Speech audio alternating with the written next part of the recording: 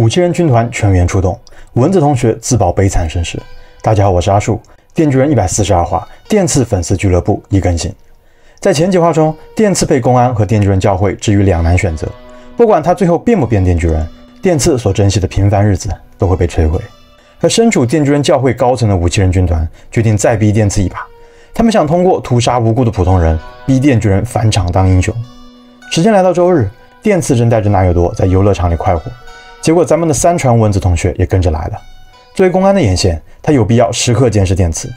而为了缓解尴尬，又或者是想套出点情报，蚊子向电刺提起几天前他被剑哥带去电锯人教会的事，说电刺怎么逛了一趟教会，居然没有入教呢？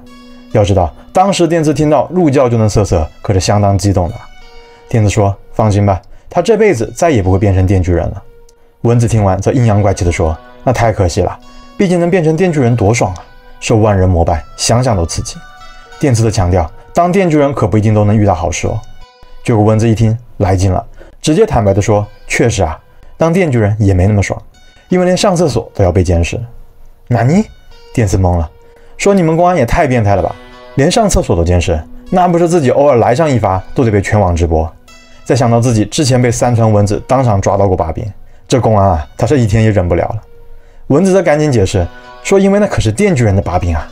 作为电锯人的粉丝，试问谁会不想摸一把呢？电子说：“你可拉倒吧！以他一百四十二话的经历来看，所有接近他的女生都讨厌他，哪来粉丝一说？”蚊子看电刺这么有自知之明，也挑明了自己的立场，说：“没错，他确实不是电锯人的粉丝，因为电锯人当年没有救下自己的父母。原来幼年蚊子一家曾住在电刺和枪支魔人打雪仗的小镇，本来一家人吃着火锅，唱着歌，开开心心的，结果吃到一半，房子塌了。”而从废墟里爬出来后，蚊子目睹了电锯人和枪支魔人最后的战斗，也大喊着求过电锯人救救他废墟下的爸妈。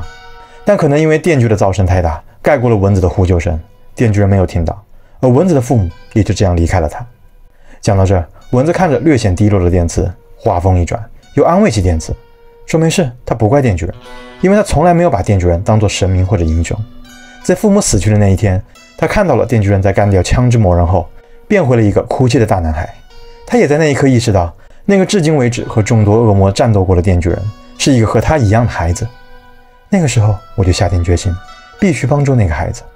说罢，蚊子的视线从记忆中抽回，扭头望向电刺。我可是电刺前辈的超级粉丝哦，不是电锯人的，而只是电刺前辈的。话都说到这个份上了，反倒是电刺一下没有办法接受，想不到自己经历了那么多，居然真的遇上一个能打破电刺定律的女神。一个从一开始就为自己而非电锯人而来的人。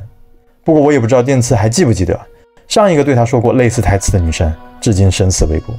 我就怕蚊子同学也会走上雷赛的老路。故事继续，在蚊子一顿表白后，还没等电刺想到什么骚话回复，电锯人教会的高层火哥又来抢人了。他一屁股坐到电刺边上，直截了当的怼了蚊子，说他火哥可是货真价实的电锯人粉丝。说罢，掏出印有电锯人印花的打火机，点了根烟抽。边抽还边刺激电刺，把当电锯人到底有多爽又说了一遍，然后不紧不慢的来了句：“他有预感，待会会有恶魔出现在大厦的一楼，而在场的所有人都会向电锯人求救。那么，身为电锯人电刺又会如何应对呢？”而此时的大楼内，孩子们还在享受着难得的周末，完全不知人形的恶魔们已潜伏在自己身边。至此，电锯人一百四十二话结束。好消息，下周不休刊。